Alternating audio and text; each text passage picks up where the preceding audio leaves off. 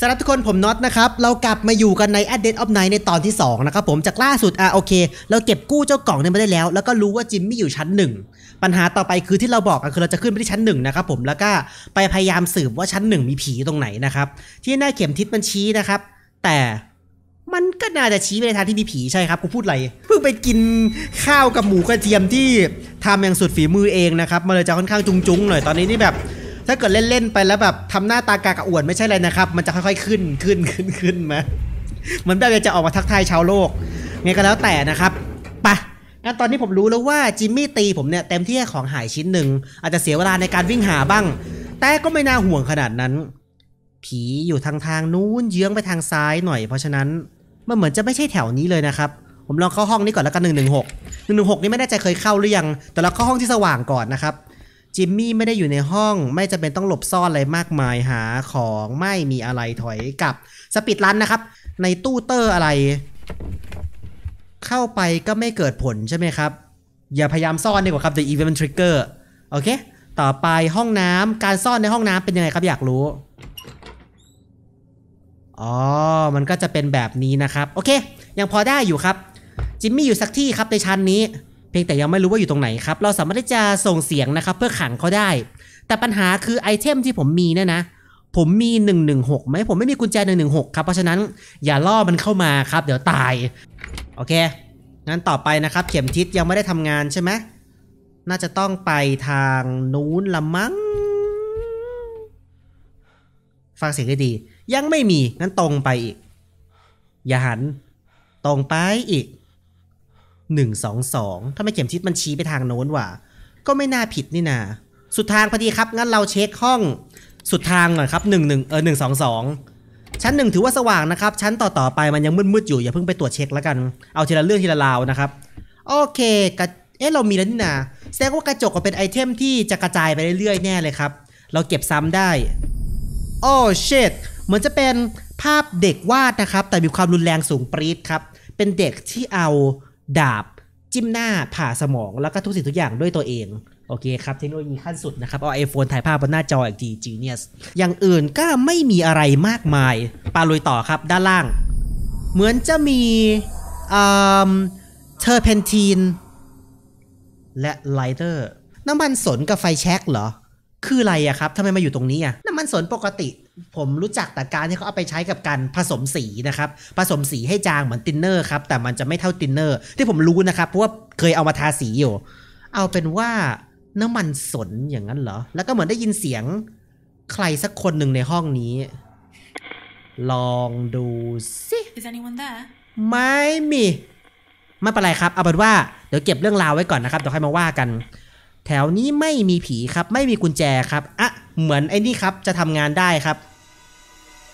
บอกทีซิมันอยู่ไหน จะได้ระวังมัน โอเค เด็กสาวที่ร้องไห้ที่ชั้น lower ground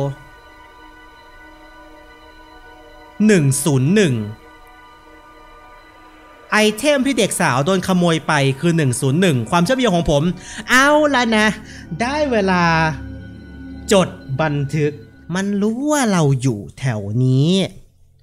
เพราะฉะนั้นเราต้องหนีเข้าห้องให้ไวที่สุดแล้วไปหลบซ่อน มันรู้ฮะ เสียงเหมือนอยู่ไกลแต่มันรู้แน่ สังเกตตรงปลายทางสิยังไม่มีอะไรนะครับ 101เหรอ ยังไม่รู้ว่า layer นะครับผมเรื่องเออเรียงแบบหัวไปท้ายท้ายไปหัวยังไงนะครับอ่าหนึ่งศูนย์หนึ่งที่ผมเช็ออหนึ่งสองหนึ่งผมเช็คเรียงอะยังไม่แน่ใจนะครับ เข้ามาเช็คก่อนไหนก็ต้องวิ่งผ่านอยู่แล้วครับ ถือว่าเก็บข้อมูลและ Data ครับเพราะข้อมูลพวกนี้เมื่อจดบันทึกไปแล้วมันจะไม่หายไปไหนนะครับ ได้กุญแจของกุญแจห้องสโตครับ บวกกับ เหมือนจะเป็นที่ตีไม้ขนไก่ใช่ไหมครับของฝรั่งยุคก่อนมันยังไม่มีแบบไม้แบบปินตันที่เป็นเส้นเอ็นนะครับ มันจะเป็นไม้ตอๆอย่างนี้ใช่ไหมครับ จัดไปครับ ข้อมูลตรงนี้ยังไม่รู้ว่าคืออะไรนะครับ แล้วก็กุญแจสโตร์ด้วย กุญแจห้อง 121 ครับ เป็นเดดล็อก ถ้าเกิดผมตะโกนเรียกเขาล่ะครับ มันจะส่งผลอะไรหรือเปล่า มุมกล้องเกิดใครไม่ค่อยชินอาจจะรู้สึกเวียนหัวนะครับ เพราะว่ามันไม่ใช่การหันในแบบที่ปกติผมหันน่ะ มันจะผิดธรรมชาติแต่มันก็เป็นธรรมชาตินะครับ มันเป็นการแบบเหมือนมุมกล้อง มุมกล้องโกโปรที่แปะไว้ที่หัว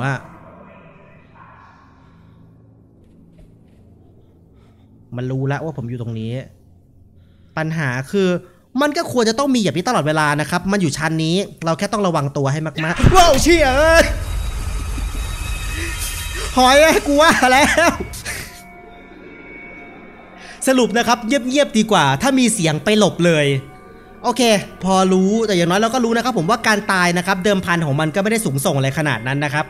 ชั้นหนึ่งห้องสโตครับไปเก็บดูว่าของอะไรหายนะครับ โอเค งั้นไม่เป็นไร 101 ใช่ไหมโอเคครับเท่ากับว่าโอ้ก็ถือว่าดีนะครับเขาส่งเรามาในจุดที่ใกล้กับ 101 เลยครับ นี่คือ 107 งั้นขึ้นอาจารย์จะรู้ อันนี้คือห้อง 108 งั้นกูต้องไปทางนู้นถ้าไม่มีเสียงก็ยังไม่เป็นไร งั้นลองมาทางนี้ก่อนสิ อันนี้คือหนึ่งหนึ่งสองไม่ใช่ครับ ต้องไปทางนี้ โอเค ต้องกลับไปทางบันไดให้ได้ก่อนนะครับ แล้วก็ทางนี้ 106 โอเค พอถูกทางอยู่ครับ ตีก็ตีไม่เป็นไร อย่างน้อยเราก็ไม่ได้ตายนะครับไอ้ประตูนี้มันไม่มีอะไร อ๋อ ห้องสโตงั้นก็เจอไอ้นั่นน่ะสิ ถ้าเรามาที่สโตปุ๊บเราก็จะเจอ มันน่าจะมีเครื่องของเราอยู่นี่นา เอ๊ะ ไอ้เจ้าเครื่องสื่อสารวิญญาณของเรานะครับมันน่าอยู่ห้องนี้นี่อางั้นต้องไปตรงนี้ละมั้งหนึ่งศูนย์หนึ่งเหรอ คือทางไหนวะทางนี้ปะลองเช็คนะครับหนึ่งศูนย์หนึ่งไอ้ห้องนี้ผมเคยเข้าปะคุ้นจังเลยอะคุ้นเหมือนเคยอ่าไม่เคยเข้าแต่เหมือนจะมีประเด็นอันดับแรกสุดทันขวา ของเต็มเลยฮะ งั้นเช็ค กุญแจของห้อง 101 เดดล็อกนะครับ ไว้ขังมัน โอเค ไม่เป็นไรครับ ด้านล่างยังไม่เจอ งั้นกูไปลินชักซ้าย เจอกระเป๋าตังค์ของเด็กนะครับ purse นี่หมายถึงกระเป๋ากระเป๋ากระเป๋าตังค์แหละ ต่อไปผมมีข้อมูลไปคุยกับเด็กแล้ว พร้อมกับถ้วยรางวัลต่างๆนะครับผม โอเค งั้นกูจดแป๊บหนึ่งนะ โอ้ ลายมือฉันเขียนเองอ่านไม่ออก โอเค ไม่เป็นไร มันมาละ วิธีการเรียกร้องให้มันเข้ามาหาเรา คืออะไรระบบการรับมือของไอ้เจ้านี่ผมยังไม่รู้นะครับ ผมเช่าเลยแล้วกัน เช่าหนีมา Hey! โอเค ได้เวลาไปซ่อนในนี้แล้วนะ ลองดูนะครับว่าเรียกแล้วมันจะโผล่มาไหมผมจะออกไปแล้วก็ทำการเดดล็อกมัน เรียกแล้วยังไม่ยอมมานะครับ ไม่แน่ใจว่าต้องเรียกกี่รอบนะครับกว่ามันจะโผล่แต่ผมจะลองจนกว่ามันจะมา กลัวมันจะยื่นมือเข้ามาจับแล้วก็ดันประตูเข้ามาชิดชิดหลบหลบหลบโอเคมันมาละ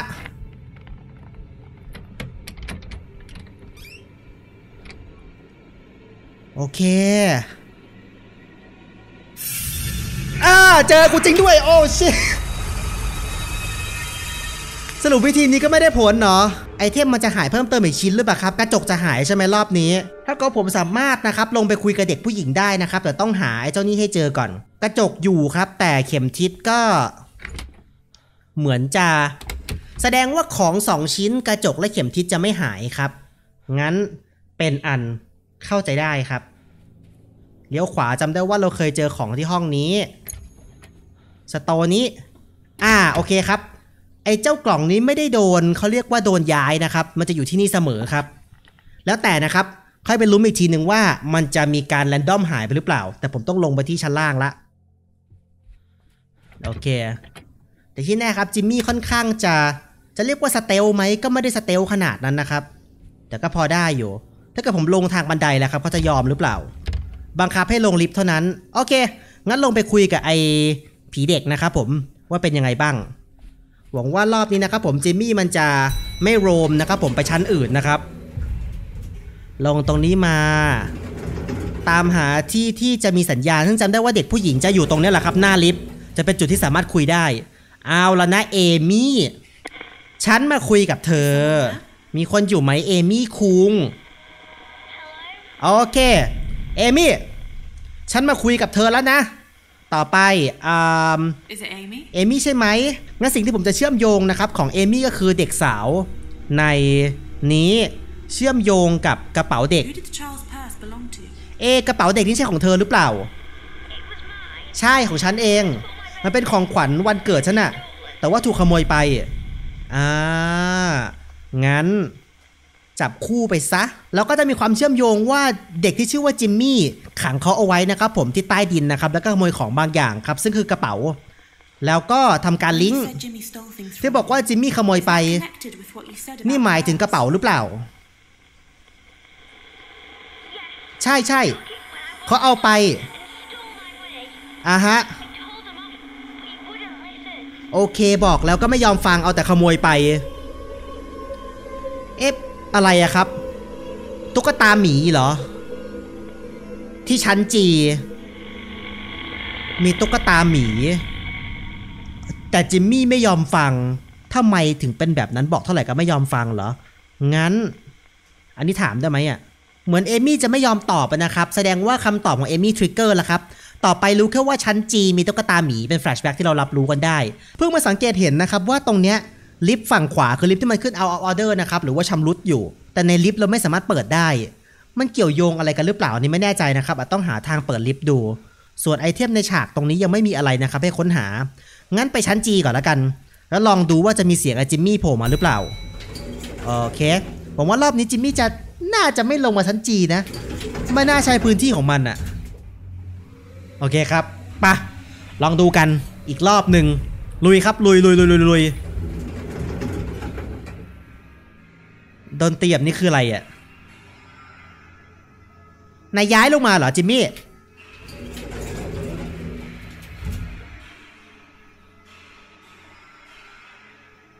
นายลงมาเหรอ เริ่มรู้สึกไม่ไม่ไว้ใจตรงปลายตรงหางตาครับว่าคืออะไรอะเสียงมาจากทางขวาป่ะ ในซอยเนี้ยอ่าฮะ อุ้ย เจมมี่เอาคืนมาของฉันนะ เลิกขโมยของฉันสักที อุ้ยโผล่มาเป็นตัวเลย โอเค จดไว้นะครับ ผมว่าจิมมี่ขโมยของนะครับ ผีเด็กเริ่มโลมนะครับ ผมวันนี้ฉันกล่าวแล้วครับ แสดงว่า มีประเด็นสินะ งั้นกูคุยก่อนแล้วกัน ไอ้ผีเด็ก เฮ้ยเอมี่โผล่มาเหรอโผล่มาทำไม กลัวนะอ๋อ เอมี่ลงมาข้างบนแล้วครับ โอเคครับ ถ้างั้นถามคำถาม เห็นเธอตะโกนคุยกับจิมมี่บอกให้คืนของมาทำไมเขาถึงเอาไปเหรอ เพราะว่าเขาคิดว่ามันน่าจะตลกไงล่ะ เออเฮ้ยเขาเอามาคืนแหละแต่เขาก็ทำพังอยู่ดี โอเคครับ ต้องเอามาเชื่อมโยงกับตุ๊กตาหมีนะครับผมถึงของที่ขโมยไปโอเค กูเข้าใจระบบหมดแล้ว เข้าสู่เฟสการสืบสวนโดนเตียบนี่คืออะไร หมายความว่าอะไรอะแปลกๆนะ โอเค แปลกนะ ทางนี้มืดไปไปไม่ได้ ประตูนี้รอบที่แล้วไปไม่ติด งั้นต้องย้อนกลับไปหาตุ๊กตาหมีที่ชั้นจีปัญหาคือจีที่เจอมานั้น มันมีแค่นี้ ก็ต้องไปทางโน้นสินะ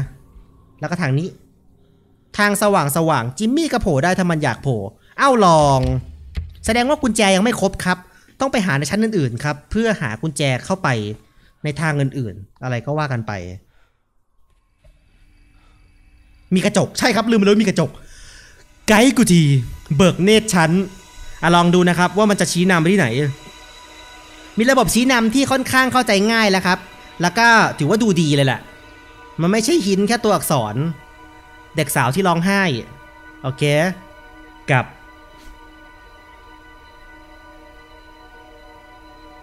น้ำที่ลดใส่ อะไรเนี่ย ต้นไม้เหรอครับ หรือตุ๊กตาหมี และจิมมี่เหมือนตุ๊กตาหมีหัวขาดมากกว่าโอเค ปัญหาต่อไปคือต้องไปหากุญแจเพิ่มเติมครับ ว่ากุญแจอยู่ที่ไหนครับ ต้องจดนะครับ ผมว่าห้องไหนไปมาแล้วบ้างนะครับ แล้วห้องไหนไม่ได้ไปครับ ต้องทำชาร์ตขึ้นมาเลยครับอะผมเปิดหน้าต่อไป ผมจะจดทุกห้องเลย ว่าห้องไหนไปห้องไหนไม่ได้ไปนะครับ เราจะได้ไม่ต้องเสียเวลาไปตรวจซ้ำนะครับ โอเค งั้นก็ต้องขึ้นไปนะครับ ผมที่ชั้นหนึ่งอีกรอบใช่ไหมครับ พยายามมองเกมให้มันเป็นเกมนะครับ ถ้าเกิดผมมองเป็นหนังผีผมจะกลัวครับ ผมจะไม่กล้าเล่น แต่เข้าใจว่าทุกอย่างมันคือแมคานิกของเกมครับ และโปรแกรมที่เซตเอาไว้ ที่วิ่งมาคือ AI ครับ คือจิมมี่ เพราะฉะนั้นมันจะไม่น่ากลัว เพราะฉะนั้นไปทางนี้ละกัน ตัน งั้นหมุนรอบหนึ่งทางนี้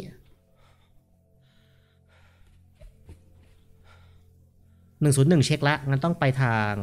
นี้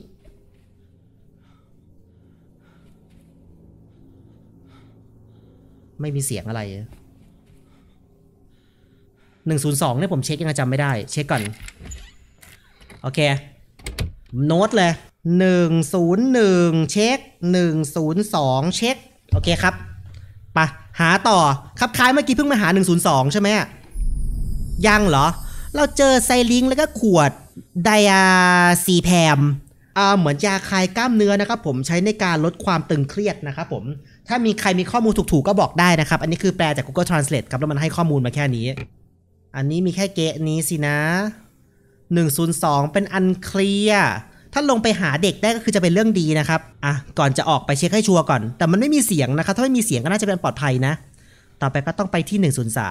103 โอเค เอ้าอ๋อส่องรูกุญแจได้เหรอ อ๋อ ไม่เคยลองเลยโอ้มืดตึบเลย ต่อไปไปทางนี้ละกันนะ สุดทางพอดีครับ ไป104ครับปาลองอีก เริ่มยังไม่ได้แบบทำการสปายนะครับ เข้าไปในรูกุญแจนะครับ แสดงว่าจิมมี่ไม่ได้ดักผมอยู่ในห้องนะครับณตอนนี้ หรืออาจจะดักอยู่แต่ผมยังไม่รู้ก็ได้ ตอนนี้ผมเลยเข้าห้องสบายๆนะครับ โอเค น่าจะเป็นเดดล็อกของห้อง104ใช่ไหม อันนี้เป็นอะไรน่ะ บันไดชั้นหนึ่งอ๋อโอเคครับ ต่อไปก็เหลือแต่ 105 นะครับ พอนี้ถือว่าสุดซอยแล้วครับ ออกไปน่าจะเข้า 105 ได้เลยนะครับ แต่ระบบเกมต้องลองดูนะครับว่าเมื่อเราออกไปปุ๊บเนี่ย มันจะหันไปหน้าห้องหรือมันจะวนกลับมาที่ประตูห้องเดิม วนกลับประตูห้องเดิมใช่ไหมเราก็ต้องหมุนเพื่อเข้าไป 105 แบบนี้ ยังไม่เข้าไปแล้วเจอตีหัวนะครับ ถ้าเจอสักรอบหนึ่งนี่ประสบการณ์ชีวิตน่าจะเปลี่ยนโดยทันที มันรู้ว่ากำลังไอ้นี่นะ รู้ว่าเราอยู่แถวนี้ปุ๊บ โอเค อันนี้คือเดดล็อกห้อง 105 จัดไปครับ แล้วก็ตรงนี้ มีเหมือนจะเป็นหมวกเชฟ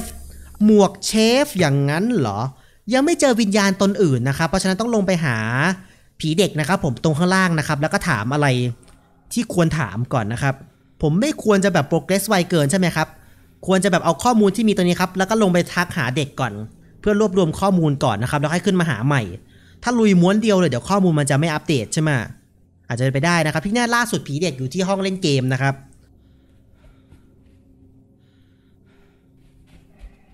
โอเคถึงนี่ละ ถูกต้องครับต่อไปเรียกลิฟต์ครับ แล้วก็ลงไปชั้นกลาวก่อน โอเคครับ ต้องจำเลเยอร์ให้ดีๆเลยอะรู้สึกว่าแบบอือหือหัวสมอง สุดยอดมาก ปะครับไปถามคำถามกับไอเด็กหน่อยครับว่ามันพอรู้เลยหรือเปล่า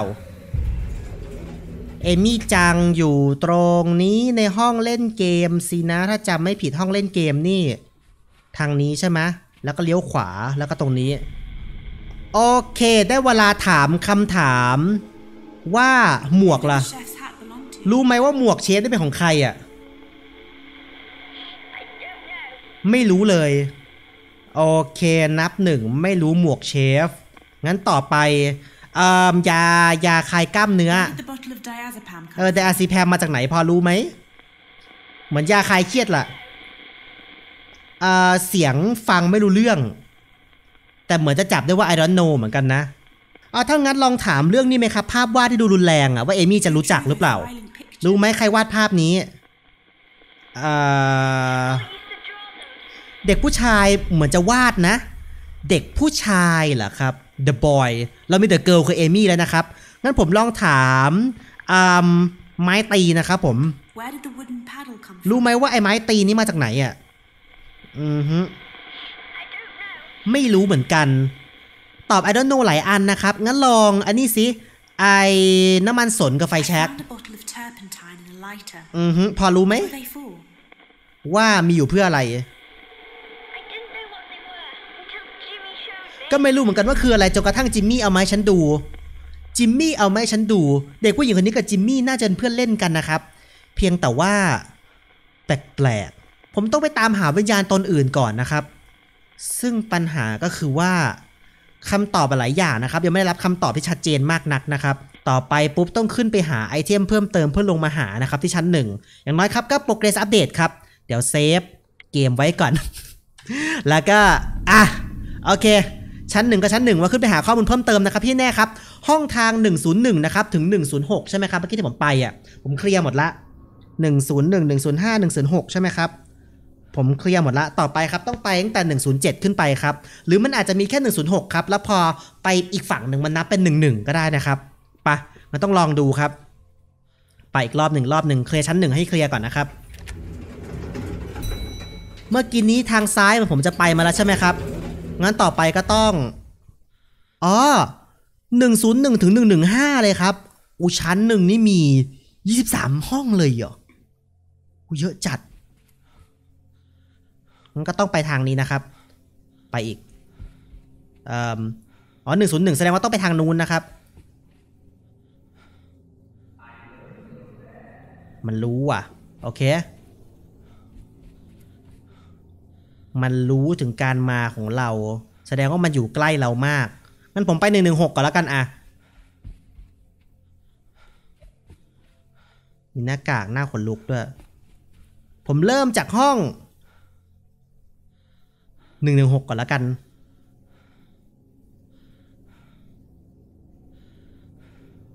ไม่มีอะไร โอเคครับไปะหาข้อมูลเพิ่มเติมอีกสิ ว่า 116 นี่มีอะไรเพิ่มเติมอีกบ้าง ไม่มีอะไร 116 นะครับเคลียร์ว่าเคลียร์ไปแล้วว่าจบ โอเคครับ แต่ที่แน่เขาตามหาเราอยู่แน่นอนครับ โอเคครับ ถือว่ามาสำรวจจนสุดทางแล้วครับ ถ้ากับต้องไปเริ่มนะครับผมตั้งแต่ 116 117 ต้องไล่ยังเหลือ 18 19 20 นะครับผม โอเค น่าจะได้ออกไปเลยก็ได้มั้ง ตรงนี้ไม่น่ามีอะไรหรอก ต่อไปครับเพราะไม่มีเสียงอะไรเลย ต่อไปครับ ต้องไปเริ่มตั้งแต่หนึ่งสองศูนย์มาครับ อย่านะ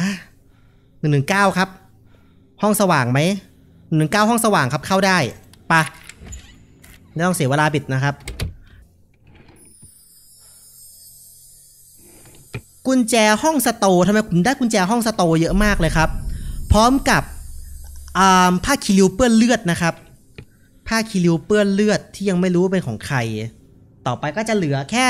120 นะครับ ไม่มีเสียงครับแสดงว่าออกได้ โอเชียเสียงมาแล้วไม่ทันไม่ทันไอ้นี่ ห้องตรงข้ามนี่คืออะไรวะ ห้องสโต เอาไว้เอามาหลบในห้องนี้แน่เลยครับ ห้องสโตจิมมี่น่าตามมาไม่ได้นะครับ แต่ที่แน่ครับชั้นนี้ครับเข็มทิศยังชี้อยู่ครับแสดงว่ามีผีอยู่แน่นอนครับ เรียกว่าผีถูกมันจะเรียกว่าวิญญาณมันก็จะดูไอ้นี่ไปเนาะโอเค แต่วิญญาณชี้ไปทางนี้ครับ เข็มหนึ่งสองศูนย์ครับที่ต้องการเป๊ะเลย โอเคครับได้เข้า เท่ากับว่าเฟสนะครับผมหนึ่งหนึ่งหนึ่งหกนะครับผมเคลียร์ครบแล้วครับตรงนี้ เหลือแต่ phase ฝั่งหนึ่งศูนย์หกนะครับ ไล่ลงมา โอเค เหมือนจะเจอกระเป๋านะครับผมกระเป๋าเดินทางเก่าๆ ไม่รู้ว่าของใครนะครับ ต้องเก็บคำถามเพื่อไปเชื่อมโยงอีกเรื่อยๆเลยครับอะกู save ไม่รู้ว่ามันสัมพันธ์แค่ไหนนะครับ แต่ว่า save ไปเรื่อยๆก่อนโอเคแต่ผมขอเคลียร์ชั้นหนึ่งให้พอรู้เรื่องก่อนแล้วกัน หรือเราจะเล่นแบบ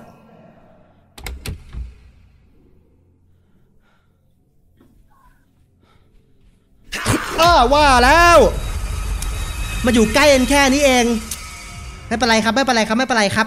speedrun ได้อยู่ speedrun ได้อยู่ ชี้แน่เรามาถึงตรงล็อบบี้แล้วครับ ถ้าถึงตรงล็อบบี้ก็แสดงว่า หมดพื้นที่ของมันแล้วครับ คราวนี้ผมต้องไปที่อ่าฮะ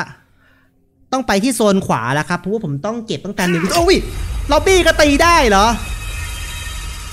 เฮ้ยให้ตายเถอะนะตกใจ นึกว่าอยู่หน้าลิฟต์แล้วมันจะไม่ตี โอ้โหก็ยังตีอีก เสียงหัวเราะครับ ทางนี้คือตันละ 109 เช็ค เข้าได้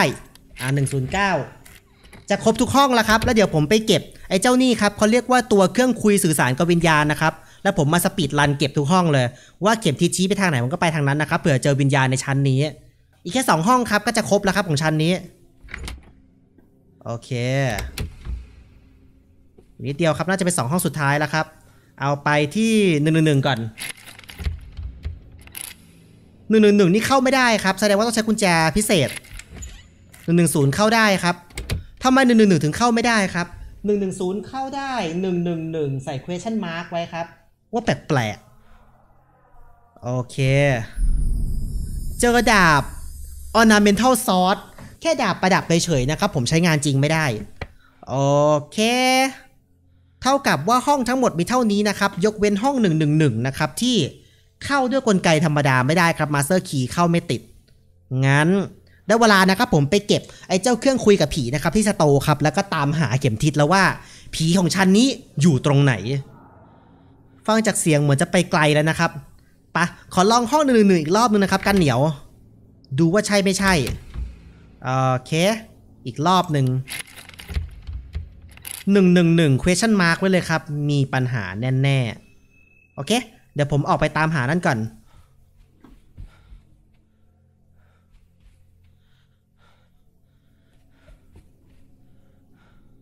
เงียบ ทางนี้ อืมว่าแล้วการฟังเสียงมัน มันไม่ได้ใช้งานได้ทีเดียวนะครับ แต่ก็ดีครับถือว่าส่งผมกลับมาใกล้ลิฟต์ครับ เพื่อเอาเจ้ากล่องควบคุมครับ แล้วก็วิ่งหาผีอะแต่ผมไม่รู้สึกว่าชั้นได้มีผีเลยนะ ถ้ามีมันต้องมีมากกว่านี้แล้วครับ ปัญหาคืออะไร ถ้าไม่มีผีในชั้นนี้เหรอ เอ๊ะโอเคครับ ได้เวลาวิ่งกลับไปละโอเค ข้อมูลของฉันนี่มีเท่านี้นะครับ เดี๋ยวผมลงไปถามผีเด็กก่อนนะครับ ว่ามีอะไรเพิ่มเติมไหมฉันนี่อยู่ไม่ได้แล้วครับไอจิมมี่มันโรมไปทั่วเลย ที่แน่ๆครับ จากคำใบ้ที่เห็นในกระจกคือบางอย่างในลิฟต์ชั้นจีนะครับ แต่ผมยังไม่มี item พอที่จะแคะได้ครับ หรือสักอย่างหนึ่งครับ เพราะฉะนั้นเอาสิ่งที่เราสงสัยทั้งหมดนะครับ ผมมาถามผีเด็กก่อนแล้วกัน เนี่ยลิฟต์เนี้ยมีประเด็นชัวร์เลย แต่ปัญหาคือมันไม่มี item อะไรที่ผมสามารถที่จะ interact กับมันได้เลยครับ เอ๊แล้วมันติดขัดตรงไหนวะเนี่ย โอเคครับ ที่ผมเล่นมานะครับผมก็ยังเจอแค่ผีตัวเดียวนะครับ คือผีเอมี่ เอาเป็นว่าวิ่งหาชั้นหนึ่งจนครบละ ไม่มีข้อมูลอะไรเพิ่มเติมครับ และผีในชั้นครับ วิ่งดูก็ไม่มีเหมือนกันอะเพราะฉะนั้นเอาคำถามที่สงสัยครับ เช่น Who does the sword belong to? รู้ไหมว่าดาบได้เป็นของใคร Jimmy had it. น่าจะอ่าเป็นของจิมมี่นะครับ แต่ว่าไม่ชอบเลย พูดเหมือนสนิทกันนะครับ แสดงว่าเอมี่ต้องอยู่กับจิมมี่มานานมากนะครับงั้นกระเป๋า I saw some ล่ะ Suitcases. อะ in ฮะ the chest. เห็นกระเป๋าอยู่ในหีบอะรู้ไหมเป็นของใคร อืม I don't know. I don't know ไม่รู้นะครับ งั้นต่อไปคืออ่าผ้าคีริ้วเปื้อนเลือด Why is there a blood-stained อือ cloth ฮึ in one of the รู้ไหม drawers? มันถึงไปอยู่ในลิ้นชักอะ It could have been mine. อาจจะเป็นของหนูนะ ของหนูเหรอ เท่าที่ผมลองดูความเชื่อมโยงของไอเทมนะครับ ก็ส่วนใหญ่จะบอกไม่รู้นะ ไม่รู้ซะส่วนใหญ่นะครับ แต่ว่าจะมี item ชิ้นเนี้ยครับที่เป็นน้ำมันสนกับไฟแช็กบอกว่าไม่รู้ว่าคืออะไรเหมือนกันจนกระทั่งจิมมี่เอามาโชว์ให้หนูดู เป็นไปได้ว่าเกี่ยวโยงกับอะไรสักอย่างหรือเปล่าไม่แน่ใจนะครับ แต่ในภาพนิมิตที่ผมเห็นเนี่ย ผมเหมือนเห็นเป็นน้ำสักอย่างครับ เทใส่บางสิ่ง ไม่ต้นไม้ก็อาจจะเป็นสักอย่างหนึ่งครับ ซึ่ง item ที่เป็นน้ำทั้งหมดก็จะมีขวดเหล้า แต่ขวดเหล้าบอกว่าเขาไม่ได้ดื่ม เจ้านี่บอกว่าจิมมี่โชว์ให้ดูที่เป็นน้ำนั้นนอกนั้นก็ไม่ใช่น้ำละครับ อาจจะเป็นไปได้จากสักอย่างหนึ่งครับเราลองทำการแพรดูก่อนแล้วกันว่าเกี่ยวไม่เกี่ยวงั้นลองดูว่าจิมมี่ขโมยสิ่งนี้ไป ใช่สิ่งที่มันสามารถแพรและเชื่อมโยงกันได้หรือเปล่า What you said about Jimmy stealing ที่บอกว่า the toy. จิมมี่ขโมย Does ของ that เล่น have ไป something to อะ do with what you said about the turpentine? หมายถึงน้ำมันสนกับไฟแช็กหรือเปล่า You soaked my toy with that. เขาเอาน้ำมันสนเทใส่ตุ๊กตาของหนูอ๋ออ๋อที่บอกว่าเทใส่ตุ๊กตาเข้าใจแล้วครับ งั้นน้ำมันสนเป็นสิ่งที่ไวไฟมากนะครับ แล้วมันอยู่คู่กับไฟแช็กงั้นแสดงว่าต้องเผาตุ๊กตาแน่เลยครับ แต่ตอนนี้แสดงว่าผีเอมี่ออกไปหรือยัง Is anyone there? ย้ายไปแล้วครับ แสดงว่าเอมี่โลมแล้วครับ ตอนนี้ต้องไปหาเอมี่ในห้องอื่นๆนะครับ โอ้โห เล่นนานจัดๆ กว่าจะหลุดได้นะครับ อัดไปอัดมาในชั่วโมงกว่าแล้วครับเนี่ย โอเคครับ ตอนนี้อาจจะเหมือนโปรเกรสไม่ค่อยขึ้นหน้านะครับ เพราะว่า นี่แบบวิ่งสำรวจทุกห้องในชั้นหนึ่งแล้วครับแล้วไม่เจอคือผมจะนมาพลาดตรงนี้นะครับเชื่อมโยงไอเทมได้น้อยเกินไปแล้วก็ช้าเกินไปครับเสียเวลานิดหน่อยครับแต่ก็โอเคครับเดี๋ยวเล่นต่อครับมาเจอกันต่อยตอน3นะครับและนี่คือ At Date of Night นะครับเป็นอยู่ในเกมที่ใช้เขาเป็นระบบเกมใช้ได้เลยครับ หลังๆนี่เริ่มไม่กลัวจิมมี่แล้วครับ เริ่มแบบมึงมาก็มาดิ เริ่มรู้ว่าสุดท้ายแล้วก็ไปเกิดที่ห้อง 101 อยู่ดีนะครับเลยไม่อะไรมากครับ แต่ก็ถือว่าเรื่องราวที่เขาเล่าขานมาครับ เริ่มแบบปะติดปะต่อได้แล้วก็เป็นเรื่องราวที่น่าสนุกนะครับ ที่สำคัญ ตอนนี้ขึ้นมาเป็น 7%แล้วครับผมจาก 4%ก็ถ้าเกิดทำภารกิจเสร็จไปเรื่อยๆครับ100%ก็น่าจะไม่ยากมากขนาดนั้นครับทำการ save game ไปซะ โอเคครับ แล้วขอขอบคุณทุกคนที่รับชมมาจนจบมากๆครับผมเจอกันใหม่ในตอน 3 ครับดูจบแล้วชอบกันอย่าลืมกดไลค์นะครับคอมเมนต์อะไรก็ได้ครับข้างล่างครับตามสบายอย่า spoil กันนะจ๊ะสำหรับวันนี้ไปแล้วครับบ๊ายบายสวัสดีนะครับ